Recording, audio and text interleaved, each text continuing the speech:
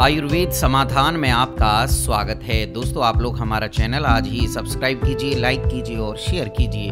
दोस्तों, अमूमन लोग चाय बनाने के बाद चाय की पत्ती को कूड़ा समझकर फेंक देते हैं, पर क्या आप जानते हैं कि इस इस्तेमाल की हुई चाय की पत्ती को अगर आप फिर से उपयोग में लाएँगे तो आपको कितना फ़ायदा मिलेगा? दोस्तों, इसमें इतने सारे गुण छिपे होते हैं जो शरीर के लिए बेहद फ़ायदेमंद होते हैं। वहीं कुछ ऐसे काम भी हैं जो बची हुई चाय पत्ती से आसान हो जाते हैं। तो चलिए आज हम आयुर्वेद समाधान के ज़रिए आपको बता देते हैं चाय की पत्ती के बेहतरीन फायदों के बारे में। चाय की पत्ती से एक बार चाय बनाने के बाद आप इसे सुखाकर दोबारा इस्तेमाल में ला सकती हैं। दोस्तों, इससे आपकी चाय भी स्वाद वाली बनेगी। कहीं आप सोच रहे हो कि एक बार चाय बनने के बाद चाय में वो स्वाद नहीं आएगा। दोस्तों, वही स्वाद आएगा। इसलिए आप चाय पत्ती को धूप में सुखाकर दोबारा उपयोग ला सकती हैं।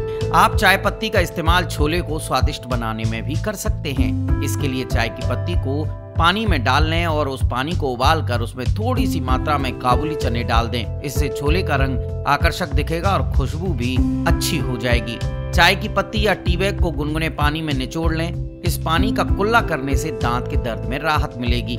इसके अलावा चाय की पत्ती के उबले हुए पानी से घी या तेल के डिब्बे साफ़ करके उन डिब्बों की दुर्गंध भी आप समाप्त कर सकते हैं। इससे डिब्बे आपके अच्छी तरह साफ़ हो जाएँगे।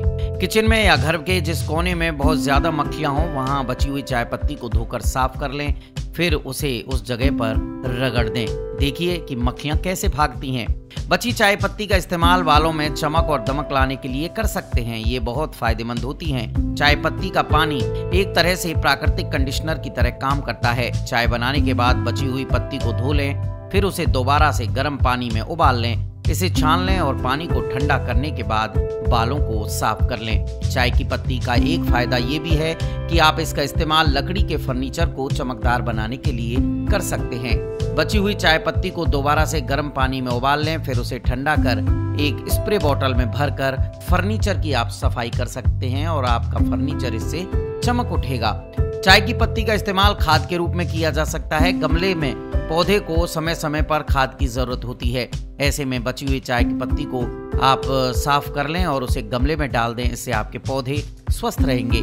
चाय की पत्ती में एंटीऑक्सीडेंट पाए जाते हैं। चोट या किसी जख्म पर चाय की पत्ती का लेप लगाने से खून बहना बंद हो जाता है। उबली हुई चाय पत्ती को अच्छी तरह से धो लें। इसे पीस कर चोट पर लगाने से घाव जल्दी भर जाएगा। दोस्तों आयुर्वेद समाधान जीवन जीने की एक पद्धति है, जिसमें बताए गए नुस्खे वैद्यों की राय के मुताबिक होते हैं। जीवन को निरोग बनाने के लिए सब्सक्राइब, लाइक और शेयर कीजिए आयुर्वेद समाधान, क्योंकि आयुर्वेद समाधान है हर रोग का निदान।